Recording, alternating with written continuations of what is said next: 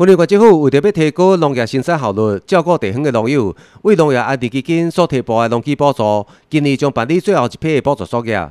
有需要增添农业机械的农友，爱把握最后的机会。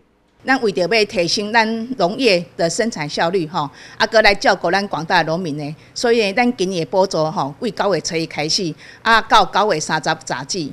啊，这个时间呢，吼，咱爱去甲农会，啊是咱的合就近的合作社长，吼，去甲伊登记，吼。啊，咱今年的补助呢，共款参去年共款是三分之一尔点，吼，诶额度啦，吼，三分之一，啊，上限呢是诶五万块。今年的农机补助今年是最后一次，预算嘛是上济，有八千万的金额。补助的机项目有八十五项，农友会当就网站，或者是向各地农会甲合作社询问。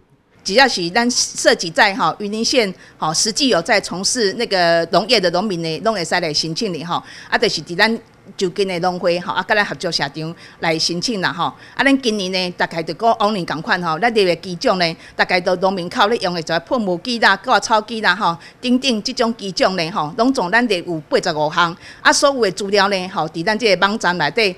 因为旧年有部分补助款因为物件无齐全，造成延迟拨款的代志。农业处人员今年特别呼吁农友申请补助的物件爱筹备齐全，互国府会当顺利拨款。伫这所在，甲大家报歉。毋过，请各位诶，大家农友朋友吼，毋免烦恼。